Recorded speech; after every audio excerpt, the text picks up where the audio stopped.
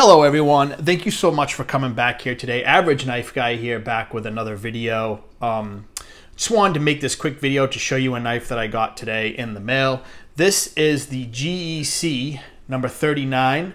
Uh, this is the Sheffield Jack. And so real quick, I used to have, let me move the camera a little bit. I used to have uh, 12 GECs and that was my cat, by the way. and um, I ended up selling off most of them. I only have, uh, this one makes four now. Um, because, you know, I was trying to figure out which patterns I liked and uh, which ones were for me, which ones I liked to carry, and, you know, the different blade shapes. They have so many patterns and so many different handle uh, scale materials. It's, it's difficult to know, you know, just by looking in pictures, you know, which ones are for you. And so um, my my collection of 12 ranged pretty significantly. They all had they, they were all quite unique models and um, the four that I have now I think I've settled on are, you know, good ones for me. Um, styles that I like, sizes that I like. And so this is the newest addition to the GEC collection, and I am psyched. Okay, I've had my eye on this for a while. This is smooth camel bone, and um, it is absolutely gorgeous, guys. Um, I really like camel bone because of the way it takes dye. Um, you never really know.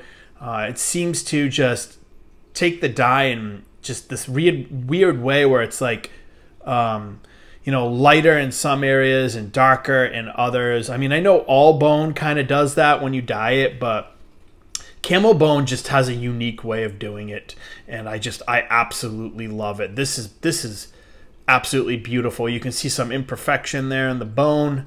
Um, it's not it's not a you know a divot or a crack or anything. It's just a dark spot um, which is pretty typical of uh, natural materials like this. You got some dark spots over here. Obviously, it's uh, nice and dark in the center here with some light lightness around the edges. I just, oh my god, I just absolutely love it. Um, the smooth camel bone is by far my favorite material that GEC does. Um, you know, they do micarta, they do uh, different woods, exotic woods, and um, they do synthetic materials as well. Um, they do acrylics. You know, this the smooth camel bone is by far my favorite, and um, I have had my eye on this one since they announced that they were going to do the Sheffield Jacks. Um, I think in November of 2022, so last year.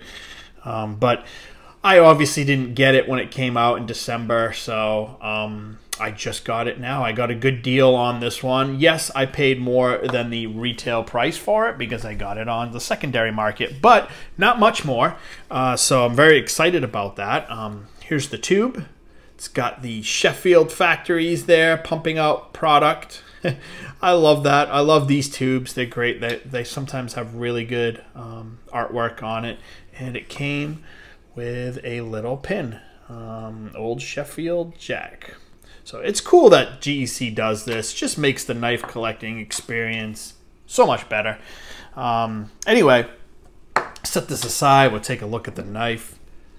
Look at this. All right, so Sheffield Jack. Um, so this is a two-bladed jackknife, um, not a Barlow or anything like that because of the small bolster. Um, it kind of has a little bit of a curve. It's one of the reasons why I like the Sheffield Jack. It's not just straight has just a slight curve. And what we have for blades are oh, really good pull. Uh, nice uh, spear point. Check that out with the long pull, nice swedge. Typical of the GEC style spear point. Um, yeah, pretty sharp. You know, I usually have to put my own edges on these uh, GEC knives. Um, tang stamp 39, 22, 22, meaning, God, camera won't focus because of the lighting in here. Um, there we go. 39 being the pattern, 22 uh, being, I believe, two blades, um, and the two, the other two stands for the spear point shape, and then 22 for 2022, the year it came out. Um, it's got this nice oval shield. I think it looks really, really classy. Uh, brass pins, that camel bone is just absolutely beautiful. Um, yeah, I just I love the way the dye took in this one. You can see a little bit of imperfection here. Um, that's just you know the natural the, the nature of these natural materials. You know, you never know how they're going to take the dye and what kind of sort of imperfections they're going to show in the bone.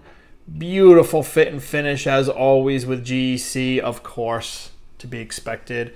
Um, really nice um, walk and talk, and then the old Sheffield Jack also comes with a small uh, spear point blade, like a pen blade.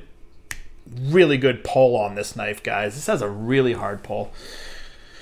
Here you go, nice little pen blade there, and um, you can see too, it's ground a little bit different on uh, on this side. See how there's like a um, there's almost like a there's a line running here. Um, you guys can see that it's kind of like I don't know, like a saber grind on this side, but on this side, it's not. It's just full flat. Um, yeah, that's pretty cool. You can see it pretty good there. Pretty nice. Um, yeah, this is just a fantastic knife, guys. Centering is perfect.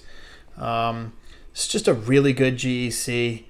Um, yeah, I I don't really look for GECs that much anymore. Whoops um, just because they are really expensive and you know it's just you know it's crazy trying to get one but this one i couldn't pass up because um, i just i really really love it the design so um, that's basically all i have for you guys here today we'll be carrying this eventually i'm going to get a nice slip for it and just drop it in the pocket um, maybe put a little lanyard on the slip so i can pull it out but yeah this is going to be definitely a, um, a daily carry for a little bit and um, that's gonna be it. I'm real I'm so happy that I got this because I just this this red dye camel bone is just so beautiful.